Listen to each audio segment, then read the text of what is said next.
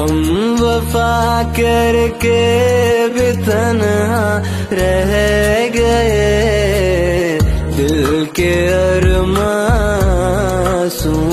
में